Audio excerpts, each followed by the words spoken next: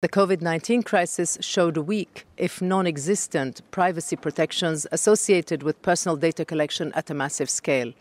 In some contexts, the data collected was used in criminal investigations in Germany and Singapore, for example, undermining public confidence in government efforts to fight the pandemic.